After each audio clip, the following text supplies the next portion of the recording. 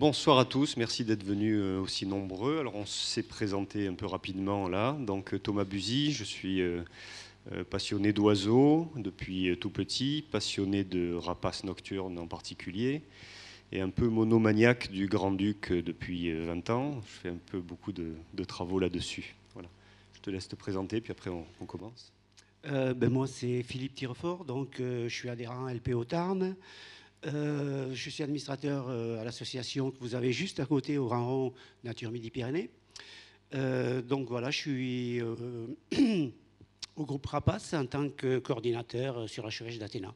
Alors nous allons commencer par ce dessin qui est un peu humoristique, mais quand même très, très proche de, de la réalité. C'est Alexis Noya, je ne sais pas si vous le connaissez, qui a fait pas mal d'illustrations dans des, des, revues euh, naturalistes et autres que ces dessins humoristiques. Il fait de vrais beaux dessins euh, nature en aquarelle et autres. Voilà. Donc je l'ai contacté et gentiment il m'a permis de mettre euh, en première page cette, cette image où l'on retrouve ben, les, les, neuf espèces de rapaces nocturnes dont nous allons parler. Les tailles sont à peu, à peu près respectées, on va dire. En tout cas, les, plumages et les, allures des, rapaces sont très, reconnaissables. Pour vous donner un peu le plan de l'exposé, on va parler un peu de, classification, hein, l'ordre, famille, etc. Nous allons parler des origines anciennes de, ces oiseaux, d'où ça vient. On va parler de, centaines de millions d'années pour les rapaces nocturnes. Ensuite, les caractéristiques morphologiques, on va voir un peu quelles sont leurs spécificités dans le monde des rapaces. Ils ont des adaptations bien particulières. Les techniques de chasse de ces oiseaux, les régimes alimentaires qui sont au pluriel euh, volontairement, parce que vous allez voir que euh, selon les espèces, ça peut être très variable. Un peu de reproduction, comment se passe la reproduction, l'émancipation des jeunes aussi. Euh, et ensuite, nous aborderons plus particulièrement les neuf espèces nicheuses de France hein, en détail le statut de ces espèces, leur protection, les menaces qui pèsent sur ces oiseaux, et enfin les gestes chouettes, entre guillemets, c'est-à-dire ce qu'on peut faire pour essayer de les préserver et de les garder dans nos, dans nos campagnes et dans nos forêts. Alors, nous sommes évidemment dans la classe des oiseaux, ce n'est pas une surprise. L'ordre, c'est les strigiformes. Alors, la racine euh, latine, c'est strix, ça veut dire la sorcière. Et il y a deux familles sur nos neuf rapaces nicheurs de France, que sont les strigidés et les titonidés. On y reviendra après. Alors pour vite, euh, comment dire, euh, casser la légende de la femelle du hibou, c'est la chouette et toutes ces choses-là, bon ça on oublie un peu. Euh, les chouettes et les hiboux, on y reviendra après, mais c'est une histoire d'aigrettes sur la tête, de plumes décoratives. Euh, c'est typiquement français, hein, de la séparation entre chouette et hibou. Euh, vous verrez après avec les photos, on y reviendra aussi. Mais une chouette, en gros, n'a pas d'aigrettes, un hibou, ça a des aigrettes. Mais c'est français, hein. vous allez en Angleterre, c'est owl, c'est le, même terme pour désigner les, les deux. Et là, vous avez les photos des neuf euh, espèces nicheuses de France dont nous allons parler. Alors on peut les passer très vite en revue, on y reviendra plus en détail après. Donc vous avez le hibou grand-duc ici, vous avez la chouette hulotte, la chouette chevêche ou chevêche d'Athéna, vous avez le hibou des marais, la chouette chevêchette, le, hibou moyen-duc, la chouette effraie, la chouette de Tangmalm et le hibou petit-duc. Voilà. Donc ça, ce sont les neuf euh, espèces nicheuses en France. Il y a d'autres espèces qui passent en France, un peu en migration, comme la chouette arfan, etc. Mais là, vraiment, on se concentre sur les espèces nicheuses de France. Et en Midi-Pyrénées, euh, elles sont toutes nicheuses, sauf euh, la chevêchette et, je le cherche, le hibou des marais qui est là. Alors les origines anciennes, le plus ancien fossile de rapace nocturne qui ait été trouvé date de 60 millions d'années en Amérique du Nord. Il a été trouvé.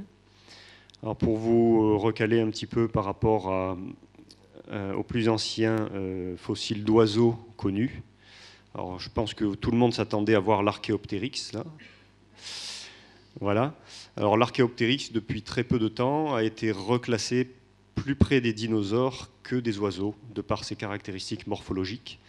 Et donc c'est euh, ce, fossile que vous voyez là, hein, qui s'appelle le Confuciusornis, qui date de 130 à 120 millions d'années, qui est a priori euh, l'oiseau euh, le plus ancien découvert à ce jour. L'archéoptérix est un peu plus vieux, il est entre 160 et 140 millions d'années, quelque chose comme ça. Voilà donc d'où viennent euh, les oiseaux et les rapaces nocturnes. Donc ce sont quand même des, espèces qui sont sur notre planète depuis 60 millions d'années.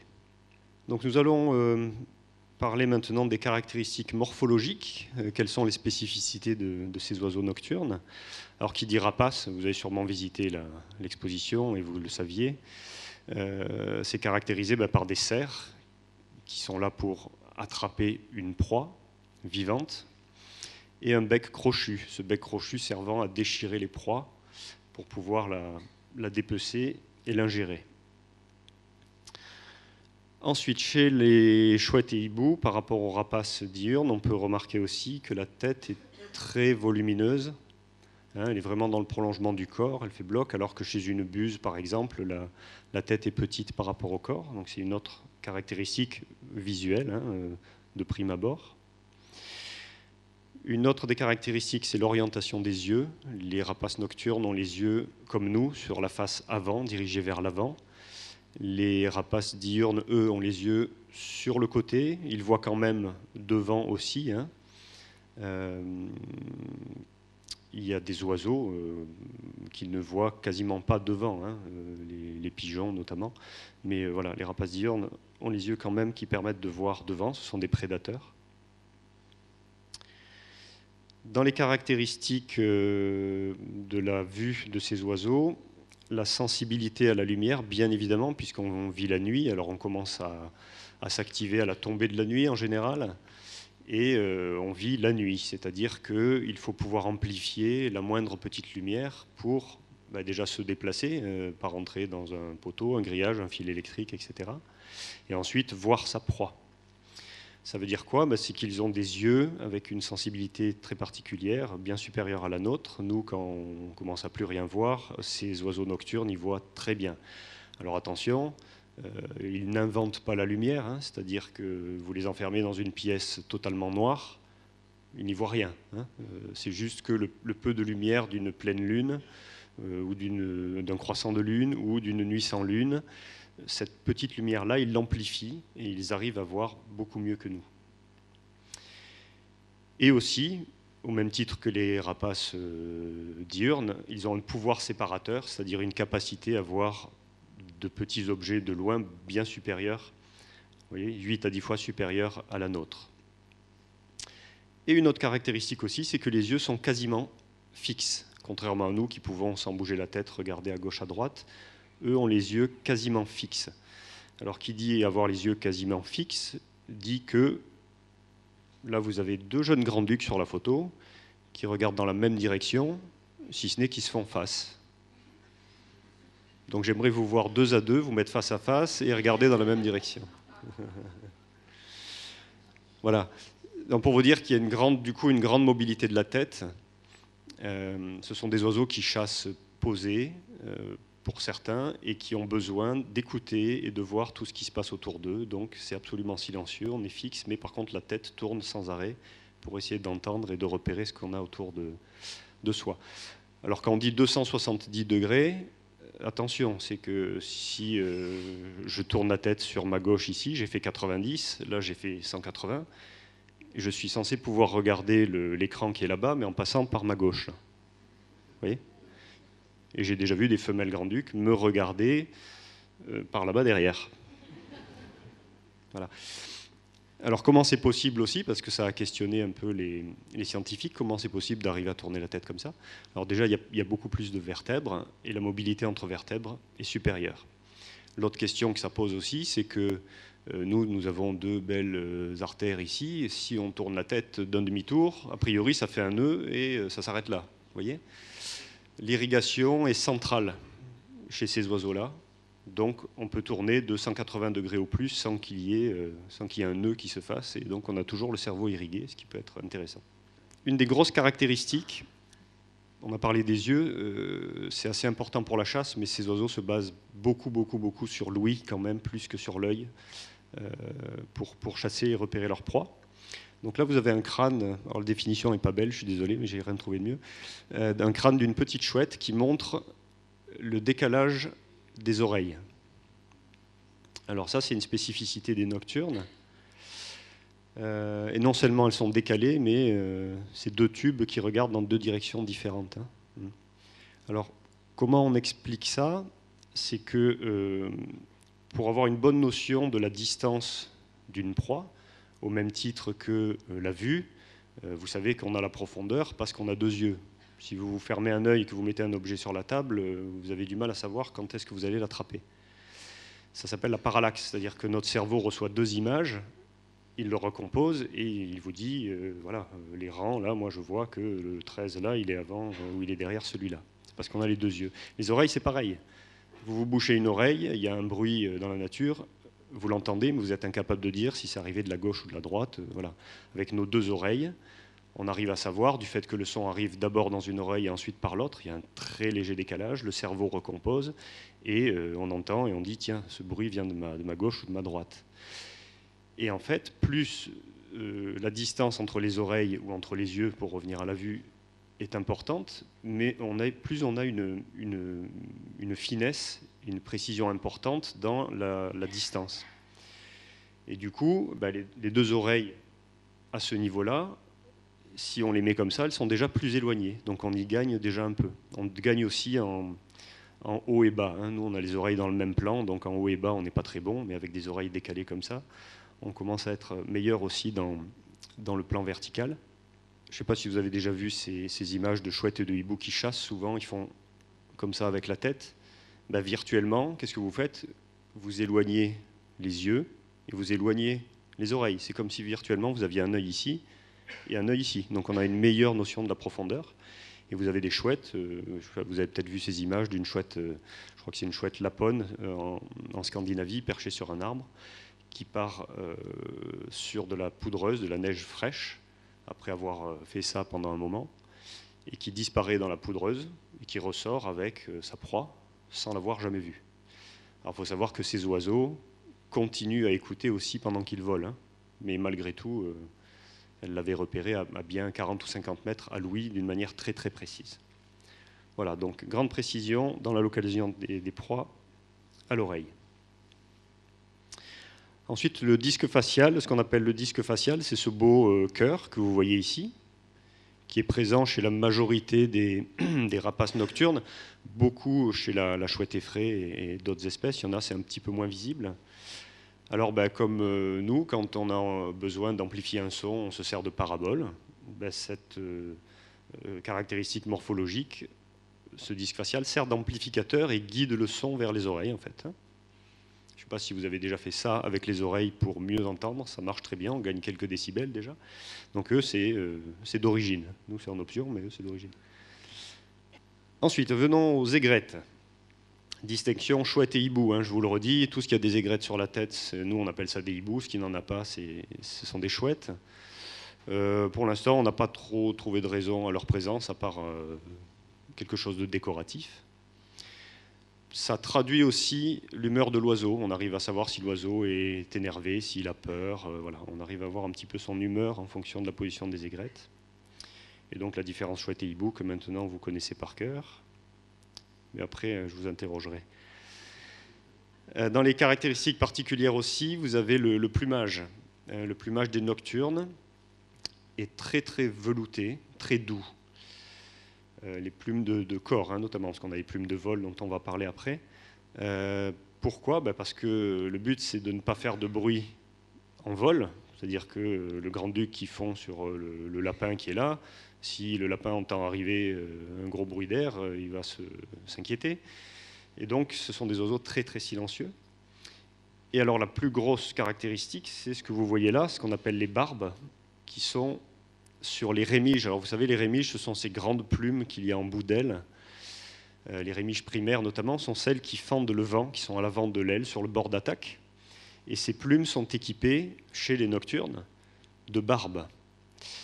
Si vous trouvez une plume avec des barbes comme ça, c'est certain que ça provient de nocturne.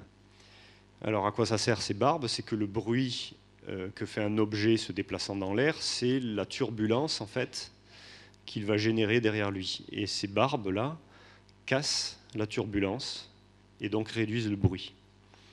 À tel point que euh, l'homme, étant un, copieur invétéré, euh, est en train de se dire que ça serait bien de mettre ce genre de choses au bout des ailes d'avion, au bout des pales des éoliennes pour réduire leur bruit. Hein. C'est quelque chose qui est à l'étude et qu'on va peut-être voir arriver euh, un jour. Le plumage a aussi un rôle de, mimétisme, c'est-à-dire de, se fondre dans la nature. Donc vous voyez parfaitement euh, ce grand-duc qui vous saute aux yeux sur cette image. Il est là. Alors pour vous dire, le Grand-Duc, ça fait quand même 70-80 euh, cm de haut. Eh ben, vous pouvez passer euh, très nettement devant cette falaise sans jamais le voir. Hein. Alors il y a d'autres espèces qui sont encore plus mimétiques, comme le, hibou petit duc, qui est vraiment un, plumage qui ressemble à, une écorce d'arbre. Hein. Alors pourquoi passer inaperçu? Ben, Déjà pour ne pas être dérangé, notamment par l'homme. Euh, qui est son, premier prédateur, notamment pour le, grand-duc, et euh, aussi pour ne pas être vu par, par ses proies, hein. et aussi pour certaines espèces un peu grandes comme le grand-duc, pour pouvoir dormir un peu tranquille, parce que tout ce qui est corvidé, la famille des corvidés, corneilles, les pies, les geais, les corbeaux, etc., qui sont des oiseaux très très intelligents, qui sont des vraiment grandes intelligences dans le règne animal, euh, vont harceler par exemple un grand-duc quand ils vont le trouver en pleine journée parce qu'ils savent que la nuit euh, bah, ils peuvent se faire manger potentiellement. Donc le but c'est de signaler à tous les autres et que euh, éventuellement on arriverait à, le pousser de cet endroit-là, ce qui n'arrive jamais parce que le rapport de force et de taille est à l'avantage du, grand-duc. Je, sens que je vais parler beaucoup de grand-duc.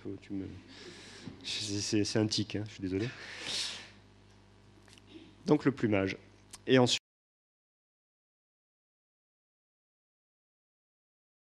Bah, ce sont des oiseaux quand même euh, légers, avec une grande surface portante, une, surface à l'air importante, qui permettent à pas mal d'espèces, comme le hibou moyen-duc, la chouette effraie, le hibou des marais, de voler à vitesse très réduite, en fait, euh, donc lentement, au-dessus des, champs et des prairies. Et pendant cette phase de vol, qui est une technique de chasse que nous allons voir après, eh ben, on écoute ce qui se passe. D'où l'importance de ne pas faire de bruit en volant aussi, parce que sinon on n'entend pas ce qui se passe autour. Euh, là, vous avez une chouette effraie, par exemple, qui est, qui est dessinée et représentée. Je ne sais pas si vous avez déjà vu une chouette effraie chasser au-dessus d'un champ. C'est vraiment c'est un vol très très léger, papillonnant, assez, assez, agréable, assez agréable à regarder. Et eh bien, on arrive aux techniques de chasse. Alors, plusieurs techniques. Euh, on a la chasse au vol que pratiquent certaines espèces, comme la chouette effraie, hibou des marais, le moyen-duc qui sont des prédateurs essentiellement de micro-mammifères, c'est-à-dire campagnols, euh, souris, euh, tous ces, petits animaux-là qui, euh, qui, naviguent dans la, végétation, dans les, dans les champs. Ben, c'est de se déplacer au-dessus, de ce champ. Alors avec l'acuité auditive qu'ils ont, j'avais vu, c'était une émission, je crois, qui avait été faite en Angleterre. Ils font de belles émissions sur ces sujets-là.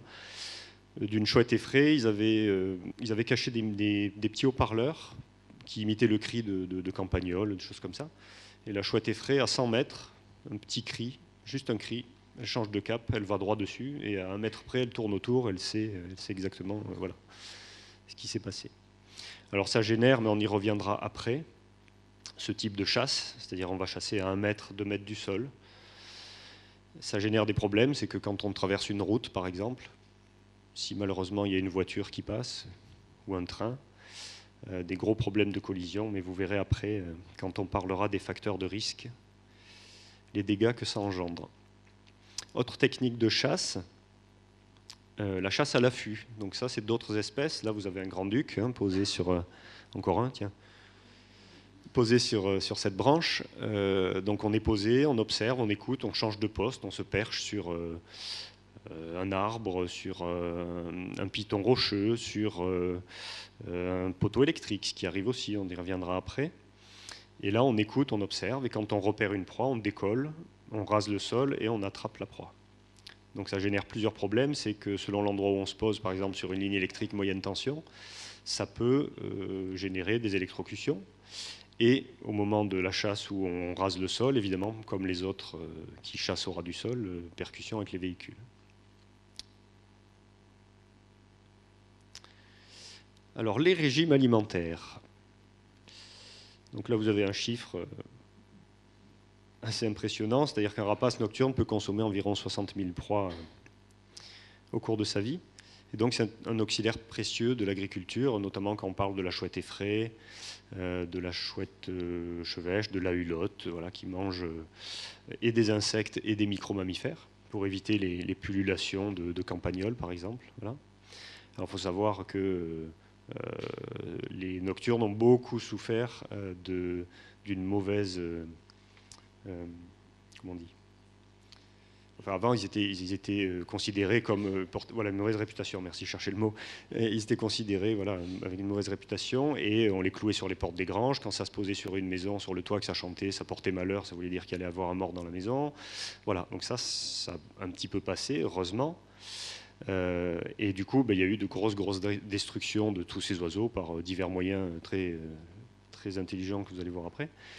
Euh, et du coup, euh, ben, on déséquilibre euh, aussi la nature. Alors après, on se retrouve avec des pullulations de, de, campagnols, de micro-mammifères. Alors pour s'en protéger, pour réduire les populations, qu'est-ce qu'on fait?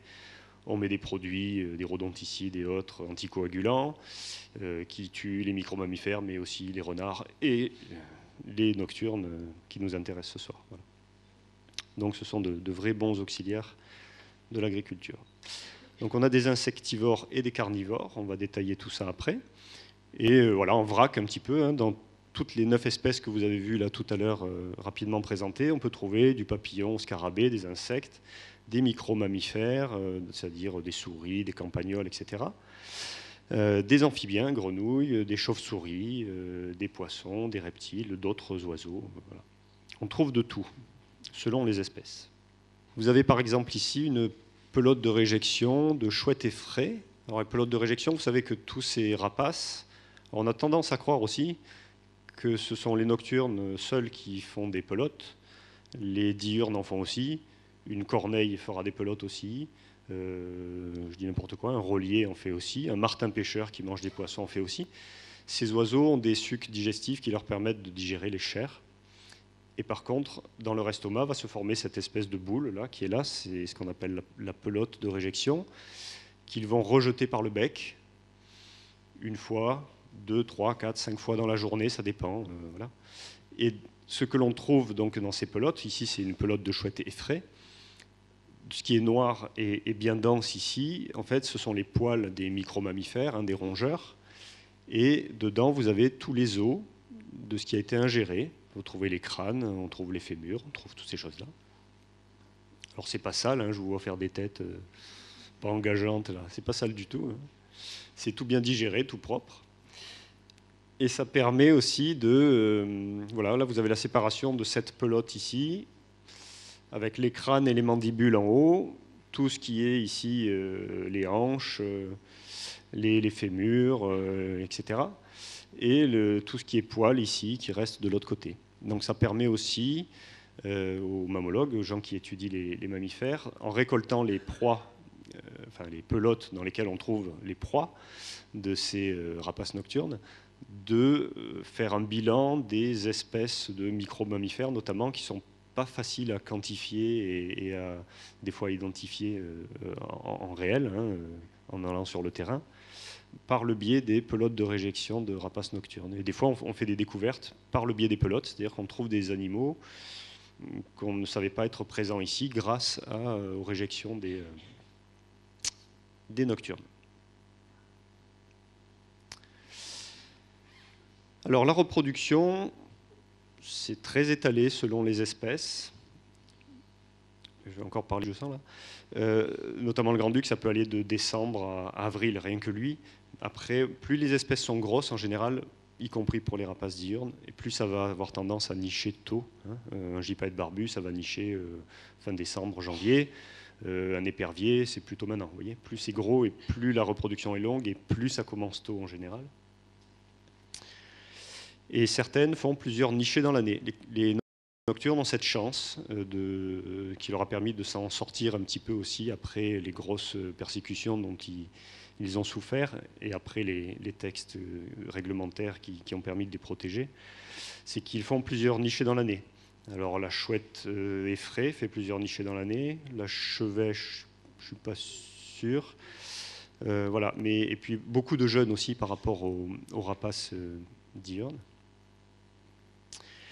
Et donc, si vous voulez voir et entendre des chouettes, avoir une chance de, les repérer, la période d'activité, c'est à la tombée de la nuit. Et puis, c'est là où on y voit encore, parce qu'après, on peut plus se fier qu'à nos oreilles. Mais malgré tout, il y a une bonne période d'activité au moment où le soleil tombe, euh, où on va avoir droit au chant, on va avoir droit à des, des accouplements éventuels, on va avoir droit à des, vols de parade, etc. Euh, c'est pour marquer le territoire, euh, pour former les couples. Et ensuite, ben, les oiseaux partent chasser. Donc la bonne période, c'est le début de nuit. Après, dès que la nuit est tombée, souvent c'est plus calme. Je ne vous dis pas qu'il ne va pas se passer des choses plus tard, à 1h, 2h du matin. en général, on est là plutôt au coucher du soleil. Et au lever du soleil, juste avant le lever du soleil aussi, il y a une petite période un petit peu plus active. Et tous ces rapaces euh, nocturnes ne construisent pas de nid. C'est-à-dire qu'on utilise des cavités naturelles dans un arbre, euh, on utilise euh, des tuiles, on va se mettre sous des tuiles, il y en a qui nichent au sol. On verra ensuite espèce par espèce. Alors là, vous avez quelques exemples. Par exemple, la, la chouette de Tengmalm qui est ici, qui niche dans les arbres creux, dans des trous qui sont faits en général par des pics, et en particulier un pic qui est le pic noir. Euh, il y a des trous naturels dans les arbres sans forcément qu'il y ait un pic qui fasse un trou, mais euh, en général c'est les pics qui creusent. Vous avez ici la chouette effraie qui niche dans les, églises, dans un hangar, dans un trou de mur. Là le hibou des marais qui niche lui au sol dans les marais. Et la petite chouette de Philippe, la chouette chevêche, qui est euh, soit dans des vieux murs, des tas de pierres, sous des tuiles, dans des granges, etc. Donc les œufs, en général, assez ronds et blancs, hein, euh, pas, très, dissimulés. Euh, bon, pas, grand-chose à dire là-dessus. Donc là, vous avez des jeunes chouettes frais, encore en duvet, euh, et on pond entre 1 et 8 œufs selon les espèces les œufs sont pondus tous les deux jours chez toutes les espèces de nocturnes. il y a une raison à ça, je vais vous l'expliquer euh, rapidement, c'est que euh, si vous avez, euh, combien il y en a là? 1, 2, 3, 4, 5, 6, 7, 7 jeunes, admettons qui naissent en même temps, qui ont cet âge-là, vous arrivez avec un, un, campagnol, là, ils sont tous bâtis pareil, ils ont la même force, vous allez donner à manger à qui? Ils vont se battre, il y a des risques de crever l'œil de l'un, de se casser une patte, de s'abîmer, etc. Le fait que la ponte et l'éclosion soient échelonnées, c'est qu'on a des jeunes à des âges très très différents, parce que ça grandit très vite, qui fait que quand la, femelle ou le mâle arrive avec une proie, c'est le plus grand et le plus dynamique et le plus costaud qui va manger en premier. Il n'y a pas de bataille. Celui qui a deux jours de moins, il se tient à carreau parce que le frangin est beaucoup plus costaud. Et euh, du coup, il n'y a, pas, a, pas de compétition. Et s'il y a assez à manger, que le premier a mangé, et qu'il y a assez à manger pour le deuxième, ben, très bien, il mange. S'il y a assez à manger pour le troisième, très bien, il mange. S'il y a assez à manger, etc. etc. Tout ça est fait, c'est la nature, pour qu'il y ait au moins un jeune à l'envol. Le maximum, c'est mieux, bien évidemment. Mais voilà, tout est fait pour que euh, on produise et qu'on perpétue l'espèce. Voilà pourquoi la ponte et donc l'éclosion est échelonnée. Alors celui-là, il n'est pas très beau. Hein ils ne sont pas forcément très beaux, les jeunes nocturnes. Ça, c'est un jeune euh, petit duc. Ou non, c'est un jeune moyen duc, pardon, excusez-moi. Alors les jeunes sont ni diffuges, ni diffuges, ni dit le nid, fuge, euh, qui s'enfuit, c'est-à-dire qu'on euh, est dans le nid, on ne sait pas encore voler, hop, on saute. Ce qui fait qu'au mois d'avril-mai, tous les centres de soins vétérinaires sont harcelés par des tas de personnes qui, croyant bien faire, vont ramasser cette pauvre petite chouettulotte, cette pauvre petite chevêche, en se disant la pauvre, elle va se faire manger. C'est possible, mais c'est leur façon de fonctionner. Il faut savoir que c'est comme ça que ça fonctionne. on, en reparlera après, mais il ne faut surtout pas toucher un jeune rapace nocturne au sol, sauf s'il est en danger. Vous le perchez sur un toit, sur une branche, et vous laissez faire la nature. Mais l'amener dans un centre de soins, ça, c'est pas la bonne solution. Au passage, quand même, les deux centres de soins dans notre zone, ce sont l'école vétérinaire de, Toulouse et au domaine des oiseaux à Mazères. Je ne sais pas si vous connaissez. Euh, par contre, ils ne font pas d'opérations chirurgicales, etc. C'est juste du, soin euh, pour retaper les oiseaux. S'il y a des choses plus graves, ça repart à l'école vétérinaire à, Toulouse. Là, vous avez un jeune euh, petit duc, pour le coup, vous voyez qu'il est même bagué. Donc il a dû être capturé, il est bagué, celui-là. Alors comment se passe l'émancipation? Ben, c'est que pendant toute la période où les jeunes euh, sont nourris euh, par les adultes, ils restent sur le site. Et un beau soir, les adultes euh, partent chasser, ils reviennent, mais ils auront mangé la proie et ils ne vont pas nourrir les jeunes, ils vont les chasser du site. Voilà, c'est vraiment une période un peu difficile pour eux. Ils comprennent pas trop ce qui leur arrive. Ils étaient chez maman, papa, nourris, puis un beau jour, on les met dehors. Et là, c'est la période de tous les dangers, c'est-à-dire qu'ils vont vagabonder, ils ne connaissent pas les nouveaux endroits où ils vont aller, les dangers. Ils savent pas trop chasser parce qu'ils apprennent pas. Hein. Ils ont l'instinct hein, quand même, mais ça s'apprend hein, chasser, quelle proie attraper, comment l'attraper. Donc ils ratent beaucoup. Donc euh, euh, il y en a beaucoup qui sont pas assez, pas bien, qui se nourrissent pas bien. Et leur but, ben, c'est soit de créer un nouveau site euh, l'année d'après, parce que ça va assez vite au niveau de la maturité sexuelle ou bien de remplacer un mâle qui a disparu sur un site, euh, voilà, remplacer cet oiseau. Alors on va aborder plus en détail les neuf espèces nicheuses de France. On va les refaire vite fait, puis on les repasse ensuite en détail. Donc le grand-duc, la chouette hulotte, la chouette chevêche, le hibou des marais, la chouette chevêchette, le hibou moyen-duc, la dame blanche ou chouette effraie, la chouette de Tangmalm et le petit duc. Quand je vous parlais du, plumage euh, mimétique du petit duc, si vous le mettez devant une écorce d'arbre, euh, il disparaît totalement. Tu veux raconter la chouette euh, Ça te dit? Ça, je bois, un coup. Donc là, nous avons une petite chouette que nous avons tous dans, nos campagnes ben, on peut la trouver aussi en périphérie de, Toulouse ou, même dans, Toulouse sur certains endroits, euh, pourvu qu'elle ait euh, de quoi manger et euh, un support de nidification. Donc voilà. Alors c'est pas une chouette qui est très rare, mais malgré tout, on peut constater des, baisses de, population quand on arrive à faire du suivi sur, sur cette espèce-là. Alors euh, cette espèce se, nourrit de l'été beaucoup d'insectes euh, et l'hiver plutôt de, micro-mammifères. Donc euh, voilà, donc elle a la chance de, varier sa, son alimentation. donc voilà.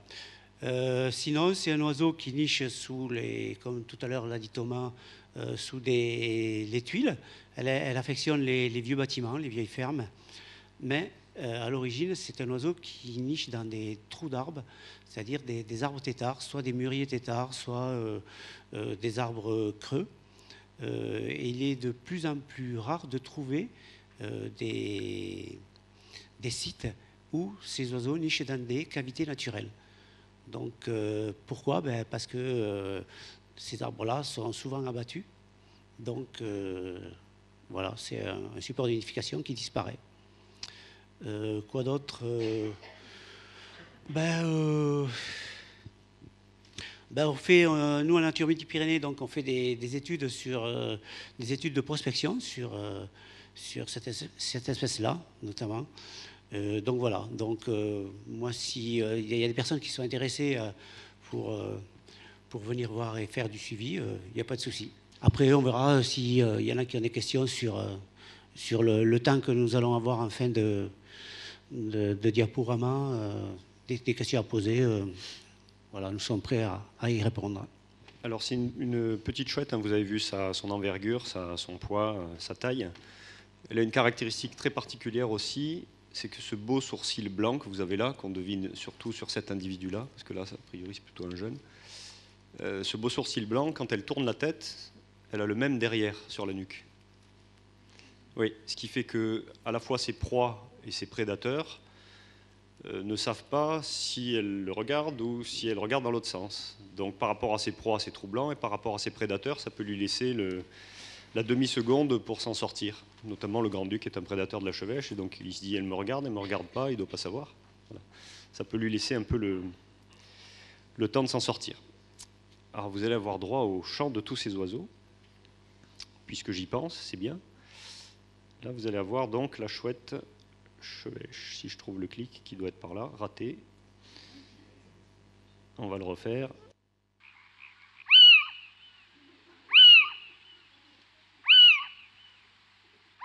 Donc ça, c'est un cri.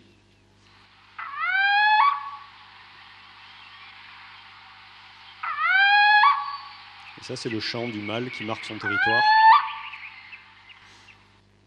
dans des zones résidentielles, par exemple à côté de la forêt de Bouconne, Cornebarieux, c'est un endroit où il y en a beaucoup.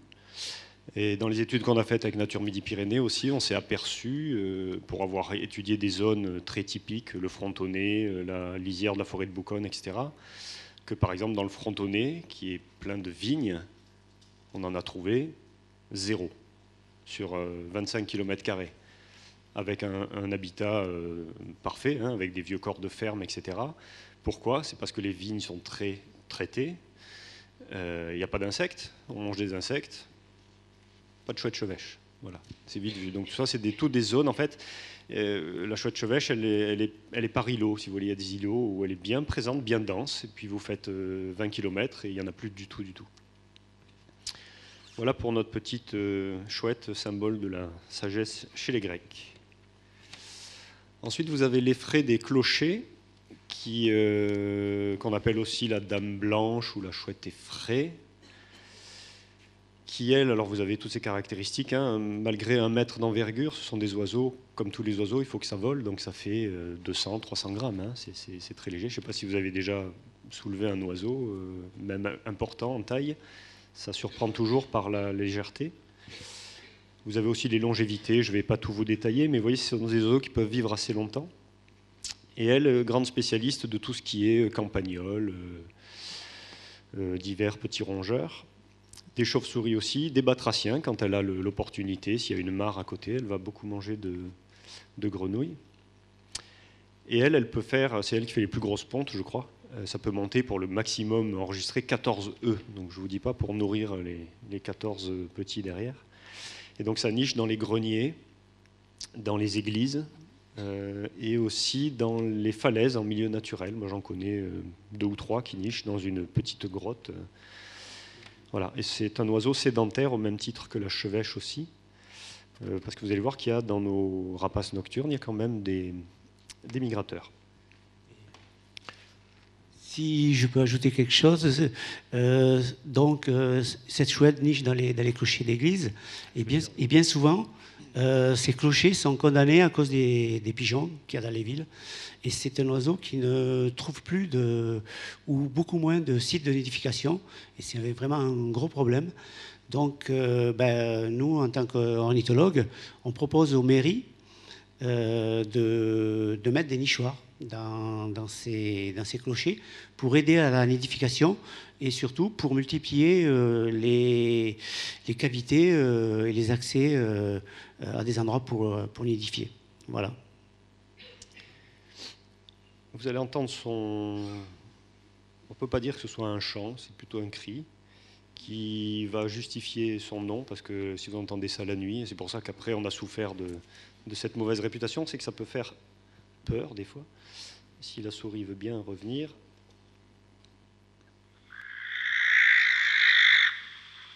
C'est une espèce de chuintement un peu vibré.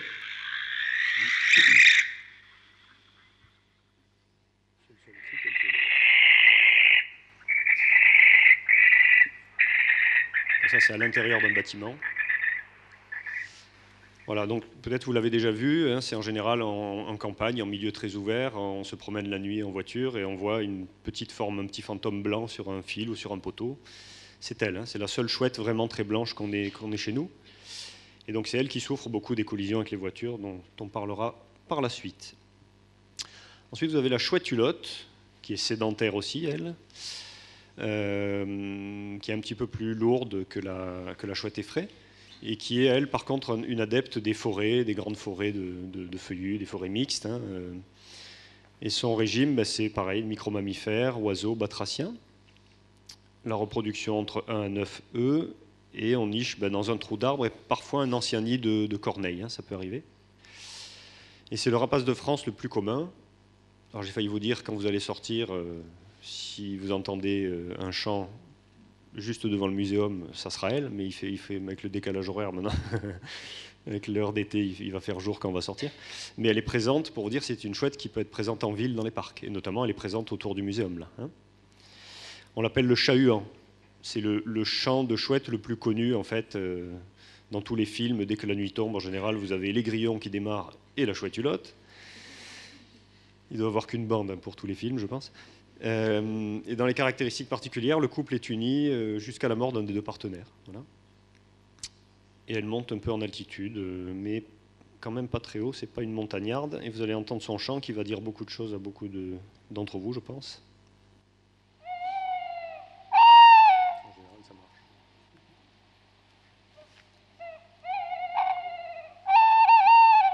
Donc là, vous avez le chant du mâle qui marque son territoire.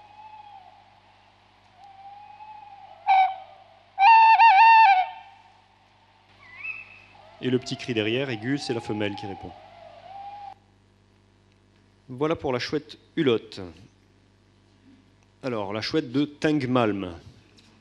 Tangmalm, c'est euh, le nom de son découvreur, enfin la première personne qui l'a décrite, qui, qui, était suédois. C'est pour ça qu'on a ce nom qui est un peu difficile à prononcer.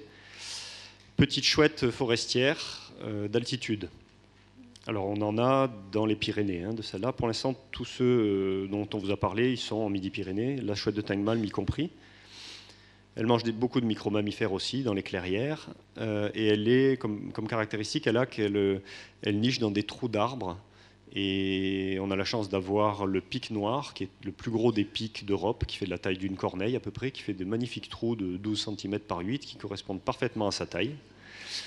Et donc, en général, quand euh, il y a du pic noir, euh, il y a de la chouette de Tangmalm. Je ne dis pas que quand il n'y a pas de pic noir, il n'y a pas de chouette de Tangmalm, mais vraiment, euh, le, pic noir lui fait vraiment des, nichoirs merveilleux. Il y avait tout à l'heure l'image de la tête qui sortait du, trou de cette chouette, là, du, trou de l'arbre. Donc, elle est sédentaire aussi. Elle est montagnarde et elle vit aussi dans des forêts de Scandinavie, bien au nord. Et comme caractéristique aussi, elle a les pattes tout emplumées qui lui permet de se protéger du froid. Et elle, euh, quand on a la chance de l'entendre en montagne lors, d'une randonnée, parce que ça lui arrive qu'elle chante aussi de, de jour, vous allez avoir ce merveilleux petit chant.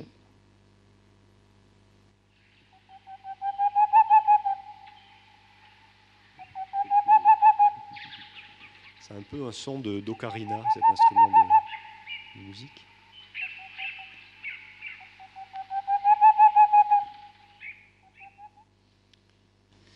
Voilà pour la chouette de Tangmalm. Ensuite, nous avons la chevêchette d'Europe.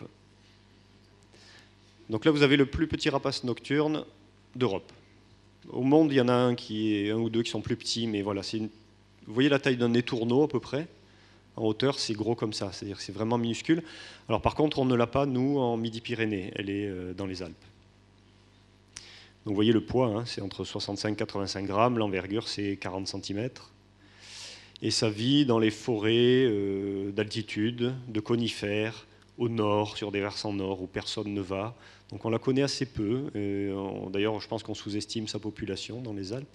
Pour l'avoir cherché, c'est un oiseau très discret et qui est, euh, pour un nocturne, qui est souvent très actif de jour aussi. Elle a aussi les pattes emplumées, celle-là, parce qu'elle elle va bien au nord. Alors vous allez entendre son chant. Donc celui-là, si vous me dites que vous l'avez entendu, je vérifierai quand même.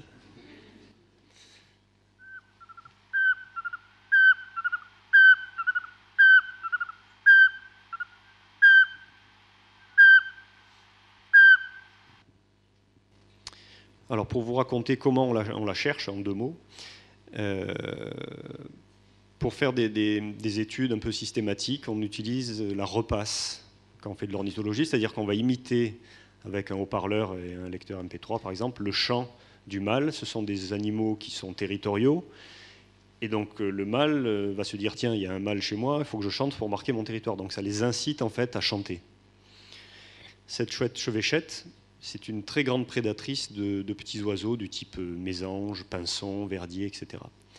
Et donc le truc, c'est de se balader dans les forêts euh, d'altitude au nord, d'imiter son chant même en sifflant, comme ça.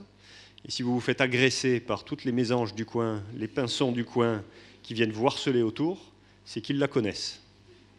Voilà. Et donc en général, il y en a une qui n'est pas très loin, parce que la repérer directement, ça reste quand même une, une gageure et on niche dans un trou d'arbre, comme c'est écrit là. Ensuite, le petit duc Scops. Donc lui, c'est le migrateur de nos rapaces nocturnes. Hein. Donc vous voyez, on dirait une branche. Hein. Là, franchement. Devant un tronc d'arbre, il disparaît complètement. Euh, petite envergure, mais malgré cette petite envergure, bah, c'est un oiseau qui va hiverner au sud du Sahara c'est-à-dire qu'il va traverser les déserts, il va traverser l'Atlas, des montagnes, il va traverser la Méditerranée, ou passer par Gibraltar, et il revient chez nous, mi-avril, dans ces eaux-là, il revient chez nous, voilà, un peu sur le piémont pyrénéen, il y en a qui viennent un peu jusqu'à Toulouse, euh, et c'est un insectivore qui mange un petit peu d'oiseaux et de micro-mammifères, mais beaucoup, beaucoup d'insectes, en fait. Et il niche dans un trou de mur euh, ou d'arbre. Ou en nichoir aussi, ça arrive et son chant, que vous allez entendre de suite.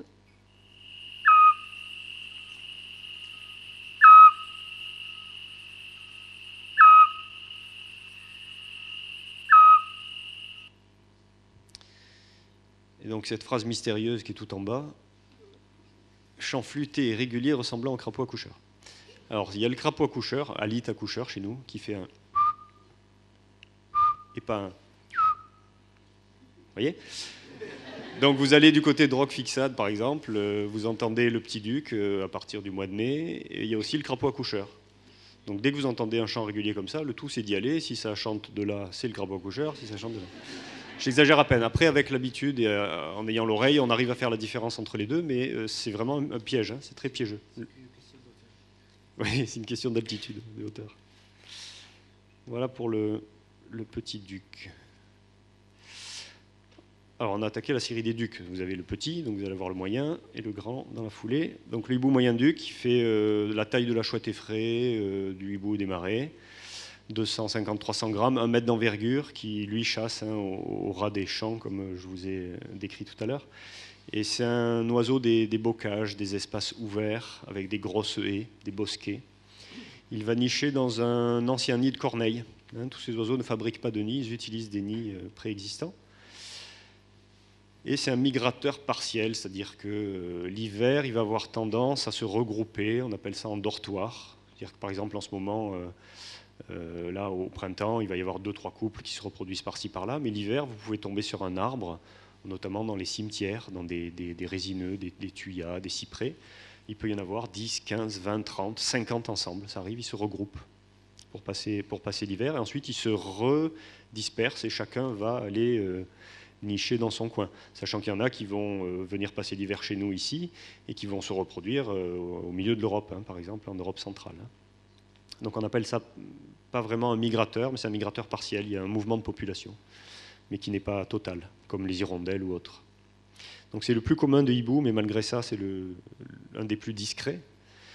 Euh, j'imagine qu'il n'y a pas grand monde ici qui a dû croiser du hibou moyen-duc. Et euh, ce qui explique un peu ça aussi, contrairement à la chouette hulotte que beaucoup connaissent, c'est que le chant est très faible. Alors je vais vous le faire entendre. Si vous voulez l'entendre, il faut être quasiment en dessous de l'arbre, sinon c'est très léger. Donc ça fait un sur un ton.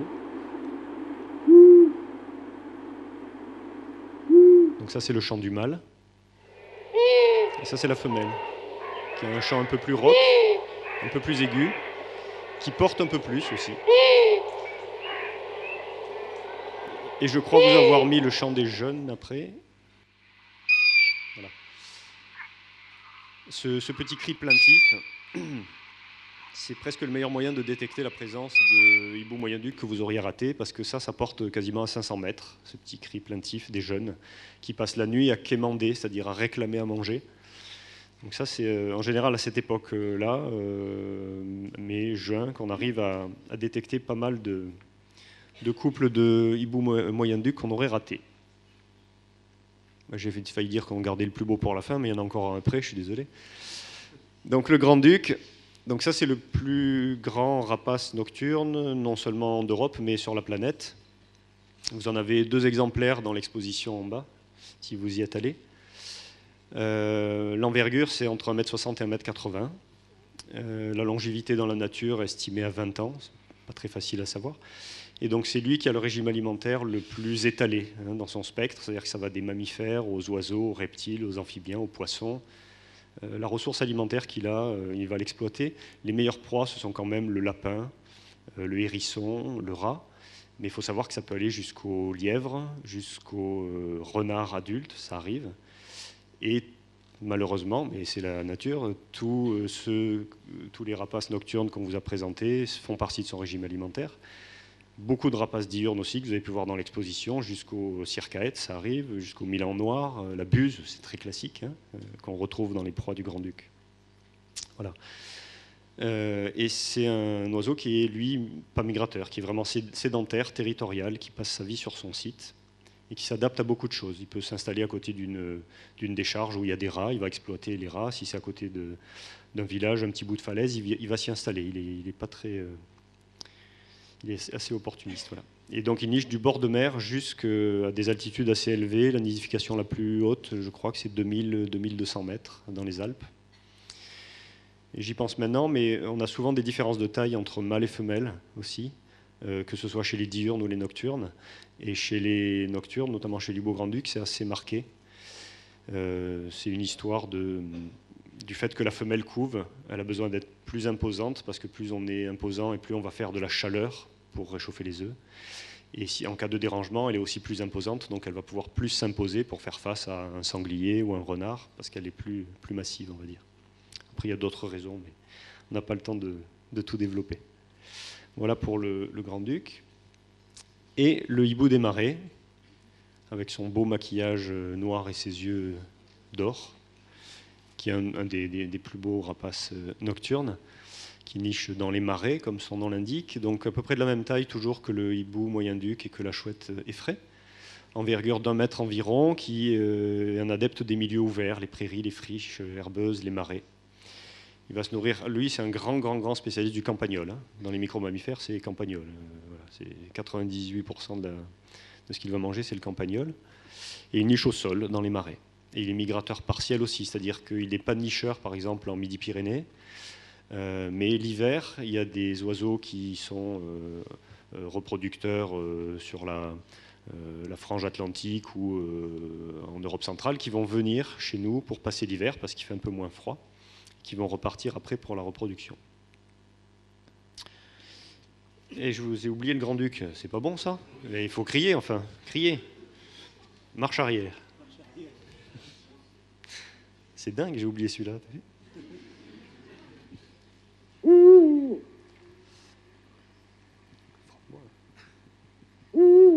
Donc le chant du mâle, une grosse voix, sur deux tons. Le hibou, la femelle qui m'interrompt.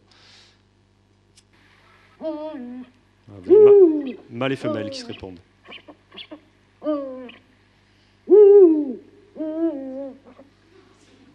Ça, c'est les, chants de parade. Donc autant le moyen-duc à 50 mètres, vous l'entendez pas, lui, si c'est vraiment calme, à quasiment 2 km, on l'entend. Hein. Et entre mâle et femelle, il y a, il y a une octave de, d'écart et on les repère grâce à ça. Donc revenons à notre hibou des marais, qui, euh, alors lui, par contre, je ne l'ai jamais entendu, parce qu'il faut aller vraiment sur les endroits où il se reproduit. Euh.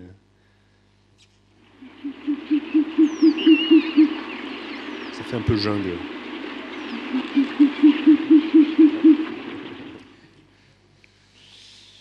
Voilà pour le hibou des marais. Donc on a fait le tour des neuf espèces euh, nicheuses en France, sachant que chez nous, il reste, euh, sauf la, chevêchette et euh, le hibou des marais qui ne se reproduisent pas. Très rapidement, sur les statuts de ces espèces, elles sont protégées par la loi. Depuis la Convention de Washington en 1973 et des textes plus récents en France, tous, ces rapaces sont protégés, que ce soit les diurnes, les nocturnes, comme beaucoup d'autres oiseaux. Sachez d'ailleurs que si vous trouvez un oiseau euh, en bord de route euh, blessé ou mort, vous n'avez pas le droit de le mettre dans votre coffre. Euh, si on vous arrête avec, vous pouvez avoir des problèmes. Hein. Gendarmerie ou NCFS, vous pouvez avoir des soucis, parce qu'on peut vous dire, ben, vous trafiquez des oiseaux, c'est vous qui l'avez tué, etc. Donc si on ramasse un oiseau blessé, on appelle de suite la gendarmerie ou l'ONCFS pour dire je suis à tel endroit, je m'appelle, euh, voilà, je vais au centre de soins là, et si jamais vous faites arrêter sur le trajet, vous dites bah, appelez la gendarmerie qui est euh, au courant et il vous couvre. Mais voilà, ce sont des espèces protégées. Vous pouvez être accusé de trafic ou de n'importe quoi. Ah oui, l'ONCFS, l'Office national de la chasse et de la faune sauvage, c'est la police de l'environnement en fait. Alors on va vite passer en revue les menaces parce que le temps avance. Ils sont tous plus ou moins menacés. Vous avez vu un peu les, dernières publications sur les oiseaux euh, de nos campagnes, sur les insectes, etc. Les nocturnes. Certains de ces oiseaux sont en, assez mauvais état au niveau de leur population. Euh, ils étaient donc euh, vraiment, euh, ils subissaient d'énormes destructions avant la loi de protection, c'est-à-dire qu'on trouvait les chouettes effraies clouées sur les portes des granges, ça portait malheur, donc on les, les tuait par tous les moyens qu'on arrivait à, inventer, donc vous allez voir. Et depuis la prise de conscience, entre guillemets, de leur utilité, du fait que ce sont des auxiliaires pour l'agriculture, et puis qu'ils ont tout simplement le droit de vivre, ils étaient là avant nous, vous avez vu euh, les populations se sont retapées, sont un peu remontées, mais malgré tout, il y a beaucoup de facteurs de risque qui font qu'il euh, faut vraiment, vraiment les surveiller.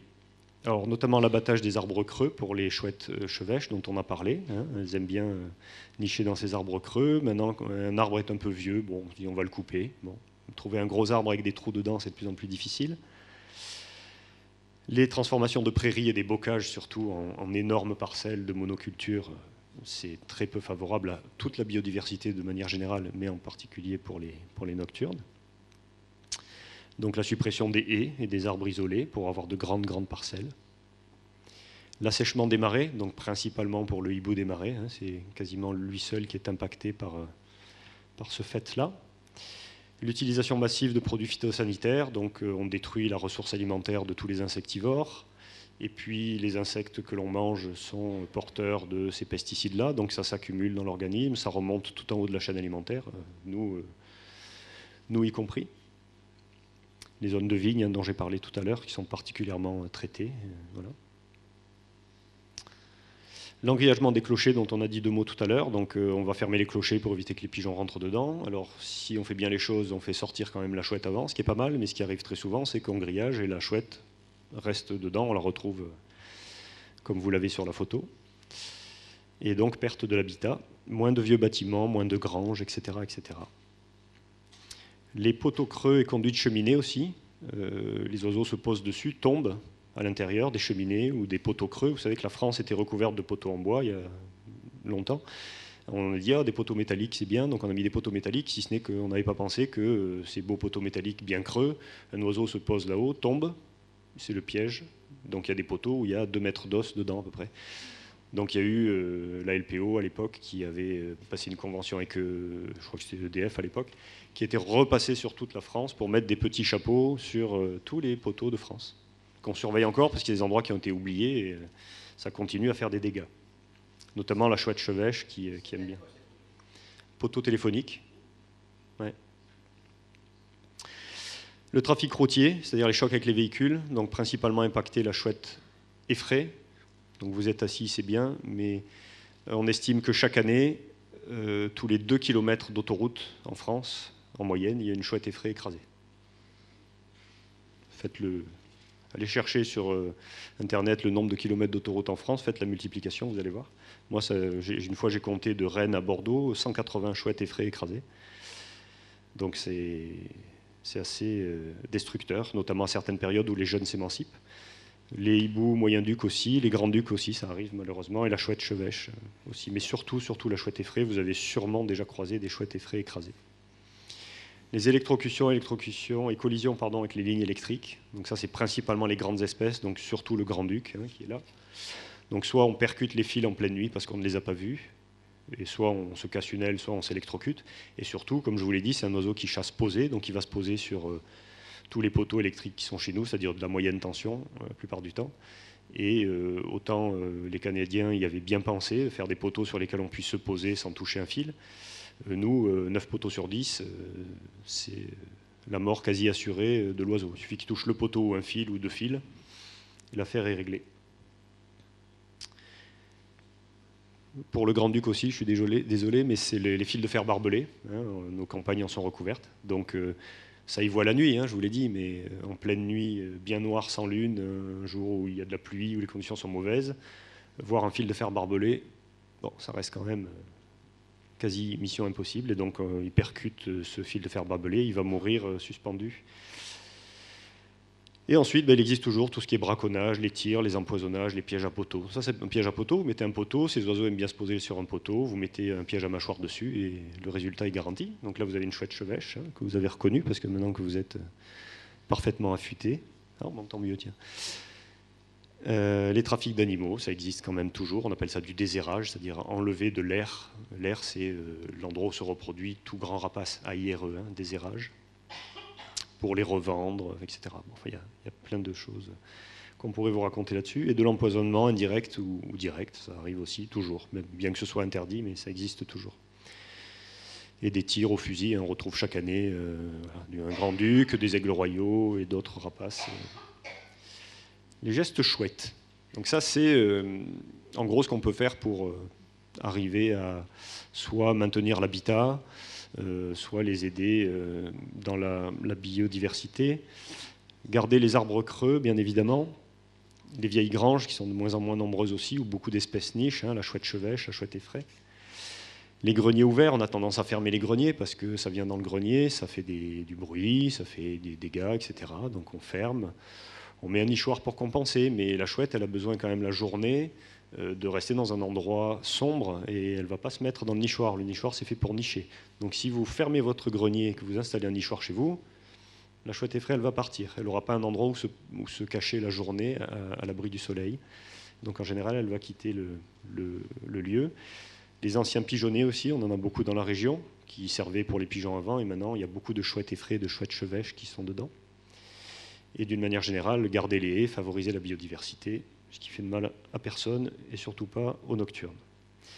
Et ensuite, quand on est dans des zones où vraiment l'absence de cavité est évidente, pour certaines espèces, petit duc, chouette chevêche, on peut mettre en place des nichoirs. Philippe à côté qui ont dû en mettre des, centaines pour, plein, pour plein d'espèces différentes. Et ensuite, euh, bah, il y a des études qui sont faites sur les protections des routes. Vous avez vu que c'est un gros problème aussi.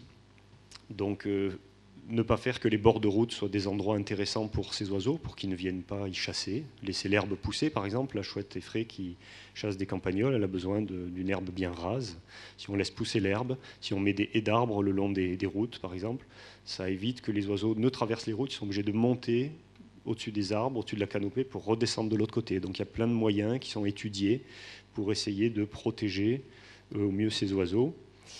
Euh, les lignes électriques, par exemple, voilà ce qu'on peut faire, c'est-à-dire euh, c'est ERDF qui met ça en place. On protège les fils sur euh, un mètre ou deux avec des caches, c'est-à-dire que l'oiseau vient se poser maintenant ici et il n'y a plus de risque d'électrocution. Ça, c'est des poteaux que j'ai fait protéger en Ariège notamment. Et les barbelés, on peut mettre des petits visualisateurs de, couleurs blanc et rouge comme ça pour que l'oiseau visualise qu'il y a un obstacle en fait. Et ensuite, ben, tout simplement apprendre à découvrir un peu la vie qui y a autour de chez nous, parce qu'un des, gros facteurs de, baisse de la biodiversité, c'est le manque de connaissances. On ne sait pas qu'on a euh, la chouette chevêche qui niche dans sa grange, on se dit je vais la raser et faire quelque chose de neuf. Bon, ben, elle va disparaître. Euh, voilà. Et donc faire des sorties nature, euh, avec Nature Midi-Pyrénées, avec la LPO, pour découvrir toute cette vie qui est, qui autour de nous et favoriser ben, le maintien de ces espèces qui était là bien avant nous. C'est ses vrais yeux, hein, c'est pas un, montage. Hein. Là, il est effrayé. Hein. Donc c'est un jeune euh, euh, petit duc. Euh, donc petit duc, moyen duc, chouette effrayé un peu, chouette hulotte, Vous en trouvez une par terre, jeune, en duvet, là. C'est des nidifuges. Hein, il y a des chats qui rôdent autour, euh, où vous craignez que le renard vienne la nuit, ou vous, la perchez sur une branche, vous essayez de la mettre sur un toit, euh, quelque part. On la met sur une branche, en général, on se retourne, elle redescend au sol. Bon, mais voilà, il ne faut surtout pas amener dans les centres de soins qui sont surchargés euh, à certaines époques de, jeunes, de jeunes chouettes. Et pour finir, une petite aquarelle d'un ami euh, qui s'appelle Nicolas de Favery, qui est peintre animalier d'un grand-duc que je l'avais amené voir il y a déjà longtemps. Ben, il y a la date, 2001, hein, ça ne rajeunit pas. Voilà, on vous remercie pour votre écoute et on va passer à une phase de questions si vous en avez.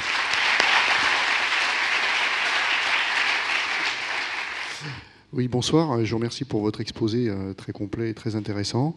Alors moi, je suis particulièrement, euh, comment dirais-je, sensibilisé euh, aux abattages des rapaces parce que j'habite dans le Volvestre, à La Trappe, qui est le sommet nord du Volvestre.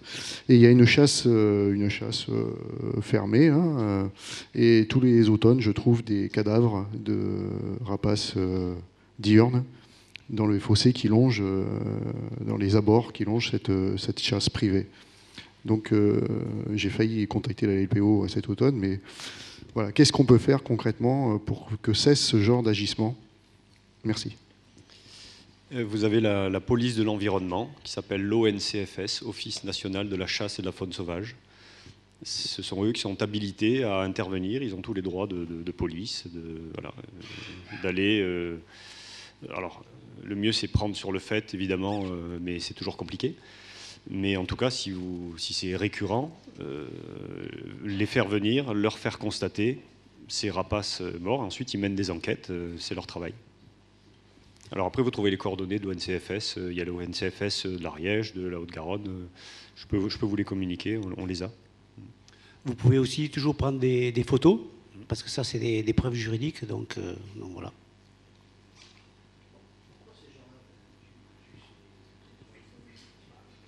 On demande pourquoi ces gens-là tuent euh, les rapaces.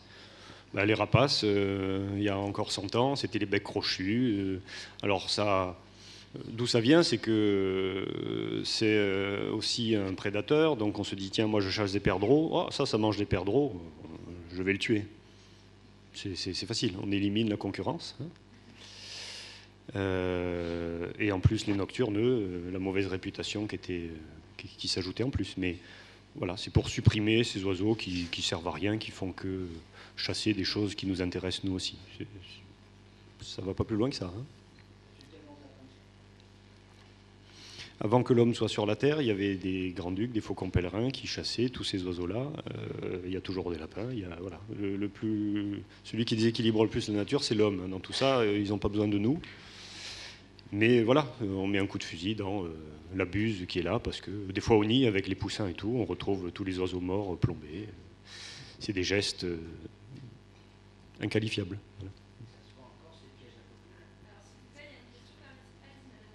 Oui, tout à l'heure, vous avez parlé de trafic d'oiseaux. Est-ce qu'il y, y, a réellement un grand trafic de ces, de ces rapaces?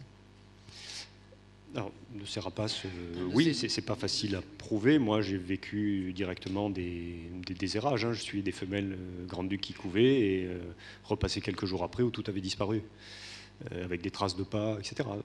Voilà, ça, ça arrive. Après, euh, l'ONCFS, notamment en Ariège, il y a des. C'est de même des, oiseaux euh, qui se revendent, euh, on va dire, sous le manteau, à des prix très élevés, quoi, soit pour des voleries, soit même si c'est interdit. Hein, il y a déjà en Europe euh, nous n'avons pas la même législation. Il y a des oiseaux qui sont protégés en France, qui sont autorisés à vendre en Belgique, par exemple, alors que voilà, ça ne devrait pas se faire. Quoi. Euh, donc, euh, donc voilà, c'est sûr qu'il y, a un trafic de, ces animaux-là. Donc, ben, nous, on essaye d'être vigilants. c'est des oiseaux où on essaye de suivre les sites, notamment pour les, rapaces assez rares euh, diurne. Donc, euh, il n'est pas. On peut constater euh, des déserrages sur certains sites. Voilà. Juste pour ajouter une chose, ce qui a fait beaucoup de mal aux nocturnes, euh, c'est euh, toute la série Harry Potter. Je plaisante pas. Où il y a eu, euh, voilà, des chouettes effraies, des chouettes arfans, des, grands-ducs, des chouettes lapones, etc. et tous les enfants voulaient avoir, comme on a un chien, un chat, avoir son nocturne. Chez nous, c'est quasiment impossible, vous avez vu, ce sont des espèces protégées, mais vous prenez aux Pays-Bas, où par exemple le grand-duc n'est pas présent aux Pays-Bas, donc il ne fait pas partie de la liste des oiseaux protégés. Donc il y a eu à ce moment-là une augmentation énorme du trafic, euh, notamment des Grands-Ducs, qui a généré après, vous l'avez peut-être vu, il y a quelques années, euh, il y avait euh, dans tous les, journaux télévisés et ailleurs, la radio, des Grands-Ducs qui attaquent des personnes, c'est la panique totale sans qu'ils aillent dire le fond de l'histoire, qui est que c'est l'homme qui avait fait venir tous ces oiseaux-là. On a ce gros oiseau à la maison, un beau jour, comme la tortue qu'on relâche, on le met dehors parce que c'est un peu encombrant. Et donc il y a des oiseaux dans les parcs, là-bas, qui sont semi-sauvages.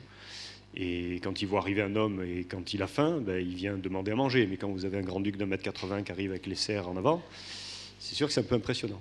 Ça, personne ne l'a dit par contre. Donc vous voyez tout ce que ça peut générer derrière. Euh. Une question, bonsoir. Euh, bonsoir. Euh, moi j'ai une question par rapport aux yeux noirs des chouettes effraies. À quoi ça sert que, que, que ça soit noir en fait? Alors c'est une énigme. Euh, chouette effraie et chouette euh, hulotte ont les yeux noirs. Et j'ai cherché. je, n'ai pas la réponse. Et je ne sais pas si quelqu'un a la réponse. Et si je l'ai un jour, je vous le dirai. question par ici. Bonsoir. Et comme le grand-duc, est-ce qu'on peut arriver à les prévoiser comme un corbeau? Oui, oui, toutes ces espèces. Il faut savoir que la chouette chevêche, là, on ne l'a pas dit, parce qu'on n'a pas tout dit, hein, pour en faire une deuxième d'ailleurs, pour, finir de vous raconter tout ça. Mais la chouette chevêche, à une époque, il y a une centaine d'années ou moins, elle était dans les maisons au même titre qu'un chat. Elle était là, elle se baladait, elle attrapait les souris qui passaient. Donc ça s'apprivoise très bien, ça s'imprègne très facilement de l'homme et c'est un problème parce que dans les centres de soins, euh, un grand-duc euh, qu'on va nourrir pour euh, le retaper, il va très vite s'imprégner de l'homme et on a beaucoup de mal à le relâcher après. Donc les soins sont faits de telle manière qu'on va le nourrir à travers des écrans opaques euh, sans qu'il ne voit l'homme. Ah oui, après il vous vient sur l'épaule. Hein. Oui, bon, bonsoir. Euh, je voulais savoir euh, l'espace qu'occupe une chouette effraie. combien d'hectares Elle se déplace sur combien d'hectares à peu près? C'est difficile à dire et toujours variable tous les prédateurs, euh, du loup euh, à la chouette effraie, euh, plus la ressource alimentaire est importante et moins on a besoin de surface. C'est tout.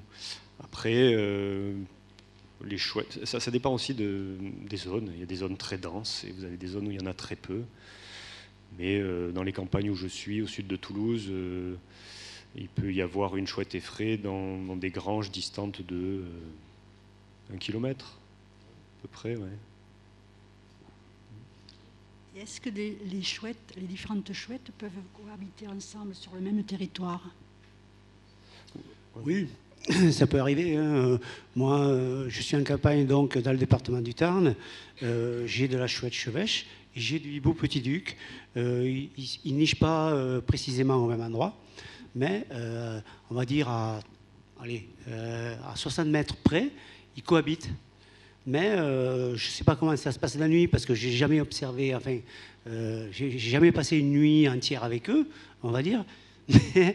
Mais, euh, ça cohabite très bien, quoi. Voilà. Pour ces espèces-là. J'ai l'exemple à côté de chez moi de, deux anciens pigeonniers avec une ferme où vous avez la chouette chevêche dans l'une, la chouette effraie dans l'autre, et dans l'arbre à côté, le moyen duc. Le moyen duc dans l'arbre à côté. Voilà. Euh, la chouette effraie par chasser d'un côté, le moyen duc de l'autre, parce qu'ils chassent les mêmes proies sur les mêmes territoires. La chouette chevêche n'est pas sur les mêmes proies, et ils sont là depuis longtemps, et ça se passe très bien. Est-ce qu'il y a un, site où euh, on pourra avoir des informations si on veut faire une sortie et euh, au cours d'une marche qui nous permettrait de voir des oiseaux? Parce qu'ils ont été identifiés à tel endroit On sait que si on va à tel endroit, on a une probabilité de, de voir tel type d'oiseau un site internet, non. Il faut, il faut sortir pour, faire, pour découvrir, pour apprendre les habitudes de ces oiseaux et après vous dire bah, tiens, à côté de chez moi, j'ai ça qui ressemble et euh, je vais découvrir euh, euh, telle espèce à tel endroit. Ensuite, selon l'espèce, c'est pas le même milieu. sur carte, si vous me donnez une carte, je peux vous dire, bah là, vous risquez de trouver de l'effraie, plutôt de la chevêche. Ou Juste ça, en fait. Oui, après, c'est euh, l'apprentissage, euh, les lectures, les sorties, euh, la découverte. Merci. Justement, le, le meilleur moyen, c'est de, de faire des, sorties, comme dit Thomas, euh, avec des associations. Et là, euh, après, euh, vous allez voir. Vous allez voir sur la LPO qu'il y a des sorties organisées, Nature Midi-Pyrénées, moi j'en fais aussi à, titre personnel. Notamment, il y en a une Nature Midi-Pyrénées qui devait être ce samedi, mais la météo n'est pas bonne, elle risque d'être dimanche, sur justement Chouette et Hibou, où on va apprendre à, à découvrir, je vais répéter un petit peu tout ça en plus rapide, mais surtout attendre la tombée de la nuit pour essayer d'observer différentes espèces. Bonjour. Euh, comment avez-vous transformé votre passion en métier? Euh, Quel est votre parcours euh, pour devenir naturaliste? Euh, ben, à titre personnel, je peux, moi, je peux vous répondre. Je, je n'en fais pas mon métier. Je suis euh, juste passionné euh, euh, depuis l'âge de 10 ans. Donc, euh, après, on a appris sur, en faisant du terrain avec d'autres personnes. Euh, voilà. sinon, je, moi, je suis bénévole en tant qu'association. hein, euh, voilà. Uniquement. Voilà. Et Thomas, il peut vous. Ouais, moi, c'est un peu particulier. Euh, je suis bénévole à Nature Midi-Pyrénées, je suis adhérent à l'LPO depuis longtemps. Voilà, je connais les oiseaux et surtout les nocturnes. Euh, et c'est devenu mon métier par, par choix. J'ai eu la possibilité de, de m'inventer ce métier, en fait, où je fais des sorties de découverte de la nature, très souvent des nocturnes, parce que c'est un sujet que je connais bien. Mais j'ai pas du tout la formation. euh, je suis plutôt un physicien et acousticien que euh, voilà. Après acousticien, ça se mélange avec euh, les chants d'oiseaux, la capacité à, reconnaître tout ça à l'oreille. Mais je n'ai pas suivi de formation. Il y a, des possibilités de, formation, il y a des, des, des BPGEPS, des choses comme ça, d'animateurs nature, de guides nature. Voilà, moi c'est juste l'envie de, transmettre et de partager pour essayer de prendre conscience de tout ça et de protéger, mais je n'ai pas de formation euh, particulière dans le domaine. Bonsoir. Euh, mes parents habitent euh, une ferme et ils, avaient dans la grange une chouette effraie. Et un jour, on est monté dans la grange, on a vu les, pelotes de réjection.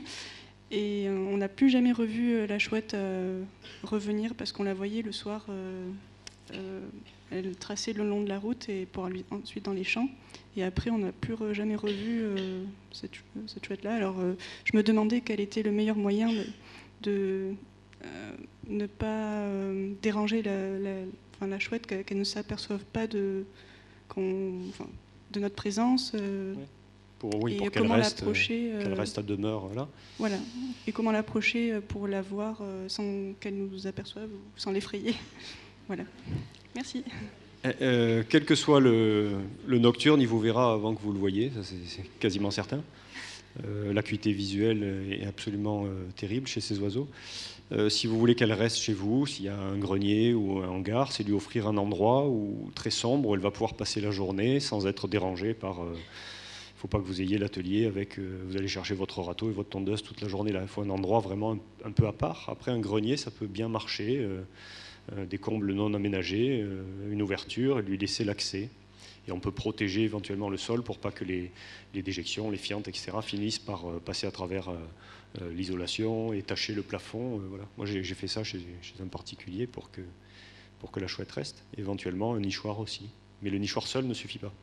Il faut un endroit où se, où se reposer la journée dans l'obscurité, qui n'est pas le nichoir. Parce que le nichoir, vraiment, c'est pour pondre et faire les petits. Euh, voilà. Après, ça dépend de la configuration, de comment c'est fait, de où c'est, mais euh, il y a sûrement une solution. euh. On peut en parler après si vous voulez. Il faut savoir aussi que sur ces oiseaux-là, quand on met des nichoirs, c'est assez difficile, on va dire, de, comment dire, de, que ces oiseaux-là prennent le nichoir. Il va falloir attendre quelques années pour qu'elle puisse, euh, pour qu'elle puisse venir, si elle veut bien venir. Faut- C'est pas si évident que ça, hein, euh, notamment sur euh, l'espèce euh, de la chouette effraie. Donc, euh, tout ça reste assez aléatoire quand même. hein. Après, on lui propose, mais bon, voilà, c'est tout. Et des fois, ça va très vite. Le lendemain, elle est venue visiter le nichoir parce qu'elles sont très très curieuses de voir ce nouvel objet dans leur environnement J'avais lu dans un livre que le, la plus longue longévité des rapaces nocturnes, c'était le Moyen-Duc avec 27 ans, je crois. Et là, j'ai vu que c'était le Moyen-Duc 10 à 15 ans. Du coup, je ne sais pas si. S'il y en a un des deux qui s'est trompé ou je ne sais pas. sûrement, sûrement. Non, c'est surtout que les, longévités indiquées là sont des, longévités moyennes. Euh, c'est la moyenne. Je ne suis pas allé chercher des records euh, absolus. Après, le grand-duc, il peut vivre jusqu'à, a priori, 35-40 euh, ans en captivité. Mais dans la nature, à partir de 5 ans, en grand-duc, on ne sait plus dire son âge. Donc, on ne sait pas trop. Bonsoir. Ce qui m'a étonné tout à l'heure dans la présentation, c'est la pelote de réjection par rapport à la taille de la bestiole, ou le poids de la bestiole. On, aurait dit qu'elle était énorme par rapport à. Ah, sur la photo de la pelote, il n'y avait pas l'oiseau à côté. non, le poids dans la planche à côté, il n'y avait pas le poids?